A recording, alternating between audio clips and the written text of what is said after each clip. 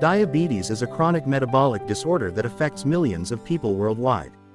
One of the primary concerns for people with diabetes is controlling their blood glucose levels to prevent long-term complications. Traditional medicine has been explored as an alternative approach to manage diabetes.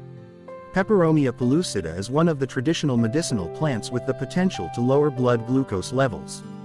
This video will discusses the findings of a study that investigated the efficacy of using Peperomia pellucida juice to reduce blood glucose levels.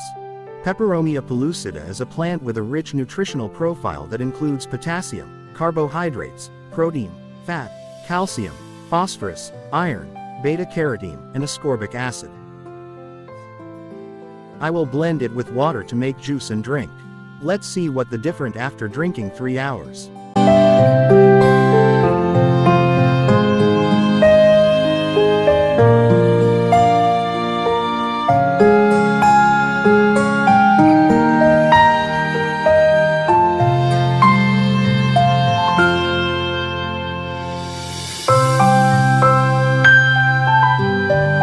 My fasting glucose level was 103 meters per deciliter, and after consuming P. pellucida juice plus engaging in walking activity for 3 hours,